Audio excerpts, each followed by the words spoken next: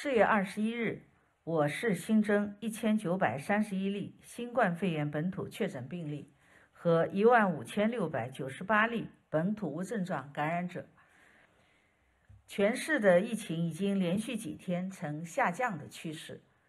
浦东、闵行、松江、青浦、普陀和长宁六区近三日总体疫情持续下降。徐汇、虹口、宝山和嘉定等市区总体的疫情继续处于平台波动状态。静安区、黄浦区和杨浦区等山区的疫情。仍有所上升，奉贤、金山和崇明等山区的疫情持续保持低位。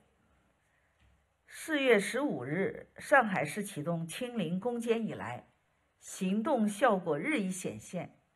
每日新增感染者，特别是社会面新增感染者逐步下降，封控区逐步缩小。当前疫情形势依然十分严峻。防控工作正处于较劲爬坡的关键时刻，为进一步巩固扩大清零攻坚工作的成效，啊，市防控办昨天制定了实施的方案，采取全域静态管理、全员检测筛查、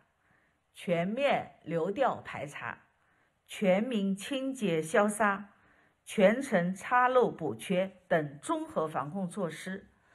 做到应检尽检、应隔尽隔、应收尽收、应治尽治，力争早日实现社会面清零。